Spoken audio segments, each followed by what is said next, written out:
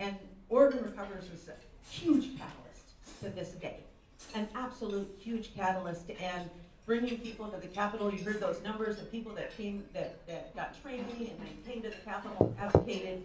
I have to tell you, there was a bill, I can't remember exactly what it was, probably maybe one of the delivery bills early on, that when people came with Oregon Recovers t-shirts on and sat in the front row and stared it down, that mm-hmm. bill did not make it out of committee. Ms. Marshall was pissed. But it was important. It was important to show up. And Oregon Recovers makes people show up because it gives us the, the, that place to stand in the room and say, we, we exist and we can and we deserve that. And it's so very, very important to the future.